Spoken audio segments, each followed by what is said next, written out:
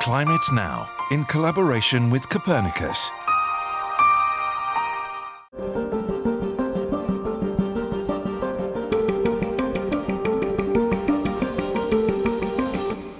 Hello and welcome to Climate Now, the only monthly programme offering you the facts on climate change.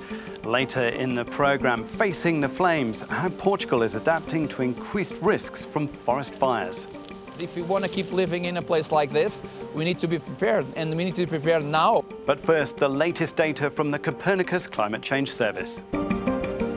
It has been very warm for the time of year. We've just had the hottest January on record in Europe, with temperatures 3.1 degrees Celsius above the 1981 to 2010 reference period.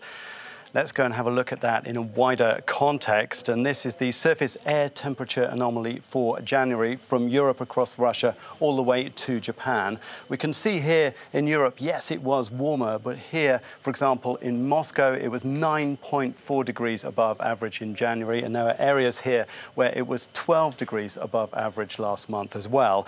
It's worth bearing in mind that there is significant seasonal variability in the wintertime in Europe. And some areas of the Northern Hemisphere, for example, Alaska, has seen temperatures 4.7 degrees lower than average in January. Now let's move on to forest fires, the focus of our report. And you'll know that in Australia they suffered ferocious wildfires in January, exacerbated by an unusually long drought and heat wave. And I wanted to show you these two satellite images. This one was taken before the fires and this one was taken afterwards. And all of these areas in brown were burnt by the flames. Now, climate change is projected to enhance the risk of forest fires, even though the link between the two is complex. So what's being done here in Europe to adapt? Well, we sent our reporter, Lindsay Rempel, to Portugal to see what they're doing there.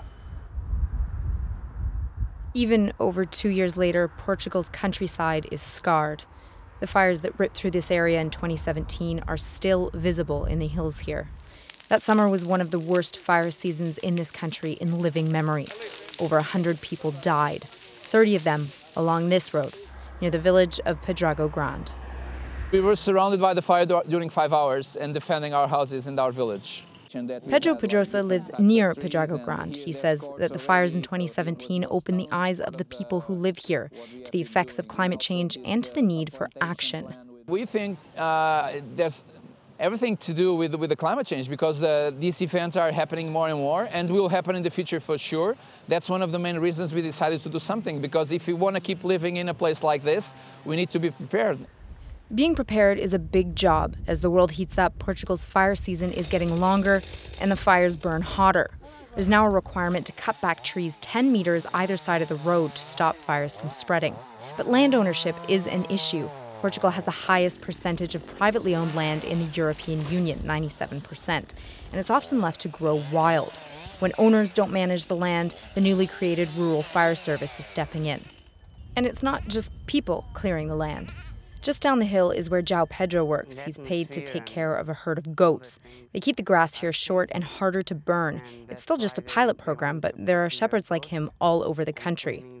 And where goats and chainsaws aren't enough, Portugal is fighting fire with fire. Fire can, is a good employee, and it's for sure during the summer a bad boss. So we need to, to, to use it uh, wisely during the winter time Close to Pedrógão Grande, the Rural Fire Service has started what's called a prescribed burn.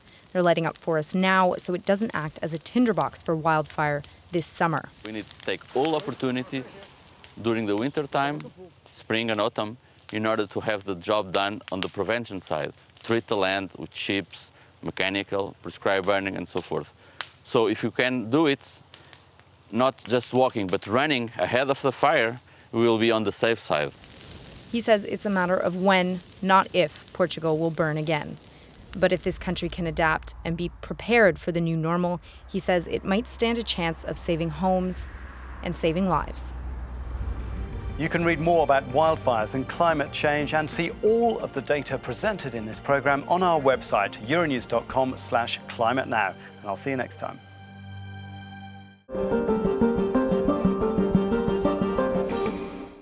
Climate Now, in collaboration with Copernicus.